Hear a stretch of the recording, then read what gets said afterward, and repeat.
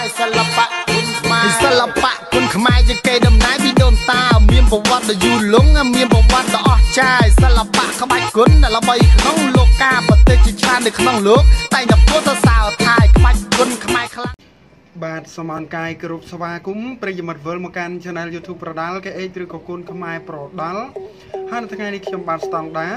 បានវិលត្រឡប់មកវិញទៀតហើយហើយក៏បានដកស្រង់ឬជាអត្ថបទព័ត៌មានក៏ដូចជាបទវិភាគ ក៏ដូចជាមតិផ្សេងផ្សេងៗនៅតាក់ទងទៅនឹងវិស័យកីឡារបស់ព្រះរាជាណាចក្រកម្ពុជា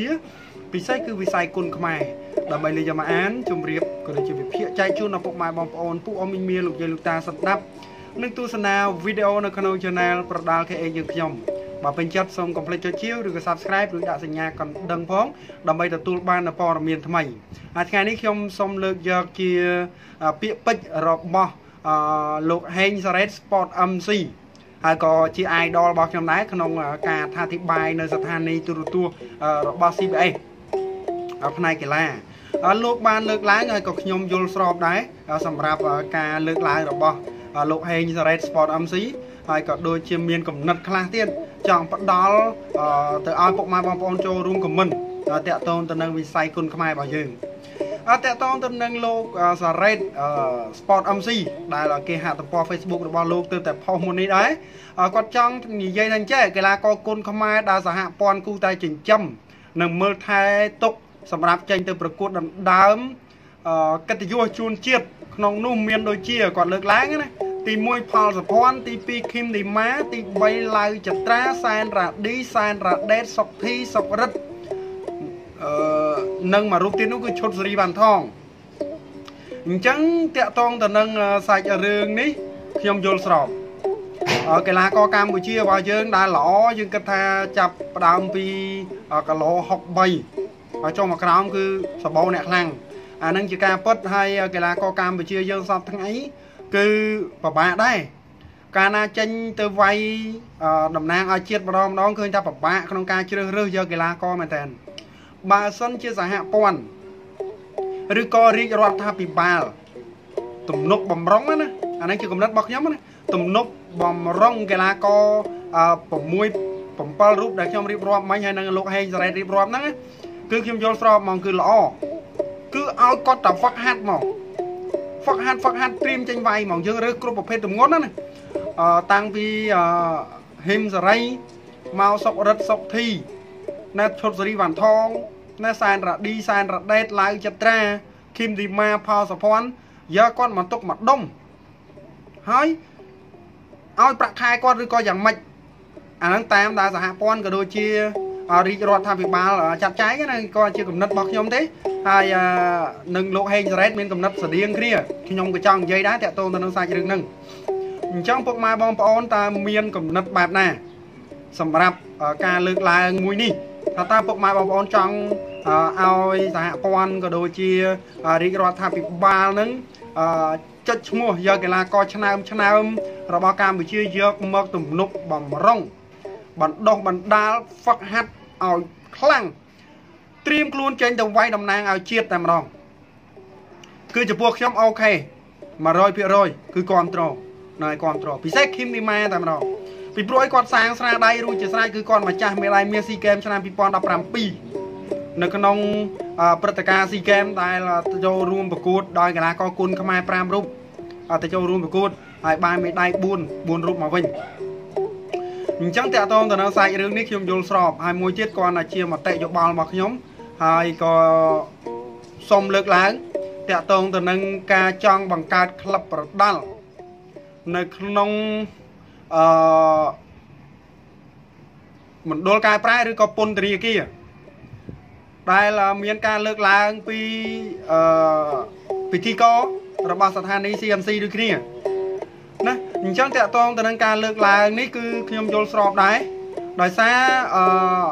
នៅក្នុងមណ្ឌលកែប្រែពួកគាត់គឺជាមនុស្សដែលអឺគេហៅថារងគ្រោះជនរងគ្រោះនៅក្នុងមណ្ឌលកែប្រែគឺភាគច្រើនគឺសេពគ្រឿងញៀន បើសិនជាយើងដាក់ក្លឹបបដាល់នៅហ្នឹងហើយពួកយើងទទួលចុះឈ្មោះបងវឹកឲ្យពួកគាត់ផ្ដាច់គ្រឿងញៀនហើយយើងងាកមកឲ្យពួកគាត់ស្រឡាញ់កីឡាខ្ញុំគិតថាល្អពុកម៉ែបងប្អូនអាហ្នឹងគាត់តែជាគំនិតរបស់ខ្ញុំណាបើសិនជាខ្ញុំនិយាយទៅខុសត្រូវប៉ះពាល់ដល់ខាងថ្នាក់ដឹកនាំរូបណាក៏សូមខន្តីអភ័យទោសគាត់តែជាគំនិតរបស់ខ្ញុំចង់អភិវឌ្ឍគុណខ្មែរក៏ដូចជាចង់កាត់បន្ថយនៅក្មេងទំនើងក៏ដូចជាកាត់បន្ថយ ក្មេងពៀលីអាវ៉ាសាយសេពគ្រឿងញៀននៃជាដើមទេគ្រាន់តែជាការផ្ដល់ជាមតិយោបល់ខ្លះខ្លះដល់ពុកម៉ែបងប្អូនក៏ដូចជាខាងថ្នាក់ដឹកនាំបើសិនជាអស់លោកបានទស្សនាហើយអស់លោកយកទៅអនុវត្តក៏អនុវត្តបើមិនអនុវត្តអានឹងក៏ខ្ញុំនឹងធ្វើមិនដែរគ្រាន់តែជាការជំរុញលើកទឹកចិត្តចង់ឲ្យគុណខ្មែរមានភាពរីកចម្រើនពីព្រោះអីពួកគាត់ពេលដែលនៅក្នុងមណ្ឌលកែប្រែវាច្រើនអត់មានអីធ្វើច្រើនប្រមាណទេ អញ្ចឹងបើសិនជាយើងដាក់ក្លឹបបដាលនៅនឹងហើយព្យាយាមបណ្ដោះបណ្ដាលពួកគាត់ព្យាយាមឲ្យពួកគាត់ដាច់គ្រឿងញៀនហើយគាត់ហ្វឹកហាត់ហើយពេលដែលគាត់ចេញមកវិញគឺគាត់មានមុខរបរហើយគាត់មុខរបរគាត់មានអាជីពជាអ្នកបដាលនឹងមកពេលនោះកីឡាករកម្ពុជារបស់យើងគឺដោះចេញមកមកយើងអភិវឌ្ឍមនុស្សដែលគេបោះចោលយើងនិយាយណា អភិវឌ្ឍមនុស្សដែលគេបោះចោលឡើងមកជាមនុស្សដែលដែលចេញទៅវាយនៅសង្វៀនពិភពលោកតំណាងឲ្យជាតិវិញគឺវាល្អអានឹងជាគំនិតរបស់ខ្ញុំមួយដែរណាជាគំនិតរបស់ខ្ញុំមួយដែរកាលណាយើងអភិវឌ្ឍពួកគាត់ពីមនុស្សដែលមិនស្ដាប់ឪពុកម្ដាយមនុស្សដែលគេហៅថាសង្គម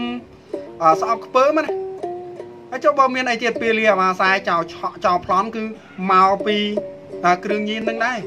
កាលណាសេពគ្រឿងញៀនទៅអត់មានលុយអត់មានកាក់ទិញបន្តទៀតអីចឹងទៅក៏ចាប់ផ្ដើមបែកកំណត់ណាលួចឆក់ប្លន់អីចឹងទៅដល់ពេលពួកគាត់គេចាប់យកទៅដល់មណ្ឌលកែប្រែពួកគាត់អត់មានអីធ្វើទេ គេនឹងផ្ដាច់ហើយអញ្ចឹងយើងមានជាក្លឹបបដាល់ឲ្យពួកគាត់ហាត់បដាល់បែកញើសណាដូចលក្ខណៈហាត់ប្រានអញ្ចឹងដល់ពេលនោះពួកគាត់នឹងអាច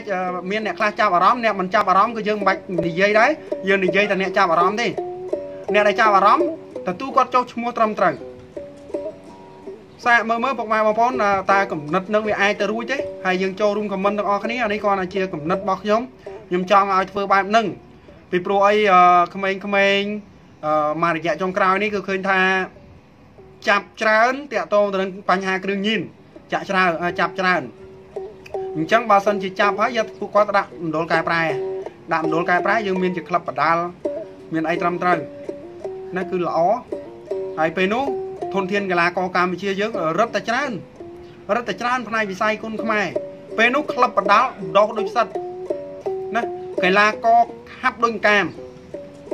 រឿងអីដែលរកអ្នកខ្លាំងមិនឃើញពេលនោះពួកគាត់ធ្លាប់តែជាក្មេងមិនល្អណាជាកូនមិនល្អជាក្មួយមិនល្អតែពួកគាត់អាចអភិវឌ្ឍខ្លួនមកជាកីឡាករអាជីពមួយ ដែលពួកគាត់មានការងារច្បាស់លាស់គឺកីឡាករប្រដាល់អាជីពពេលនោះពួកគាត់នឹងអាចចេញទៅវាយព្រឹត្តិការណ៍ស៊ីហ្គេមហ្នឹងវាយតំណាងឲ្យជាតិយើងក៏យើងមើលមិនឃើញដែរចេញទៅវាយព្រឹត្តិការណ៍ធំធំណារបស់ពិភពលោកមានវ័នមានក្លូរីអីផ្សេងផ្សេងផ្សេងទៀតគាត់លើកទង់ជាតិខ្មែរឲ្យពិភពលោកស្គាល់អញ្ចឹងពេលនោះគាត់អាចនឹងស្ដារកិត្តិយសជូនខ្លួនគាត់ពិសេសគឺប្រទេសជាតិ ដល់ពេលអញ្ចឹងទៅគឺវារីចម្រើនហើយអាហ្នឹងគឺវារីចម្រើនហើយយើងអភិវឌ្ឍមនុស្សដែលគេបោះចោលទៅជាមនុស្សដែលគេមើលមកហើយគេឲ្យតម្លៃពួកគាត់វិញអាហ្នឹងជាអ្វីដែលខ្ញុំនឹកឃើញហើយក៏ដូចជាគិតយូរដែរហើយដល់ពេលអញ្ចឹងឥឡូវគឺខ្ញុំទម្លាយក៏ដូចជានិយាយឲ្យតន់អឺពេល បាទឥឡូវនេះគឺក្លឹបបដាល់បើកច្រើន យើងឃើញហើយមាននៅបាត់ដំបងក៏ត្រៀមបើកនៅកំពង់ស្ពឺក៏ត្រៀមបើកអញ្ចឹងបើនៅសិនបើសិនជា នៅតាមមណ្ឌលកែប្រែពន្ធនាគារមួយចំនួនបើមានក្លឹបបដាល់ក៏ល្អដែរណាក៏ល្អដែរអញ្ចឹងជាការសំណុំពររបស់ខ្ញុំទេហើយបើសិនជាខ្ញុំនិយាយទៅត្រូវខុសលើលួសត្រង់ចំណុចណាក៏សំខាន់តែអភ័យទោសចំណែកឯកីឡាករកម្ពុជាគូតែទំនុក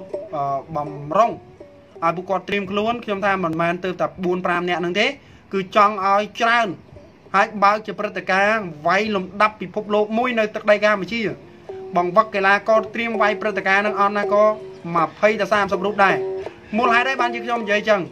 ពីព្រោះឲ្យព្រឹត្តិការណ៍គឺมันអាចវាយកីឡាករតារាលរ៉ាលបានទេគឺត្រូវតែដូរមុខកីឡាករ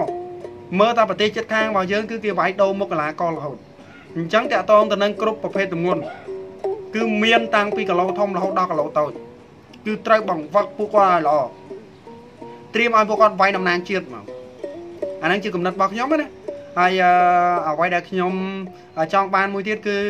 អឺគ្រប់ខេត្តក្រុង ចង់ឲ្យមានសង្វៀនខ្ញុំនិយាយយូរហើយហើយអឺមួយវិញទៀតបើសិនជាយើងមានតាមអឺខេត្តហើយគឺយើងអាចបង្រីកវាពង្រីកណា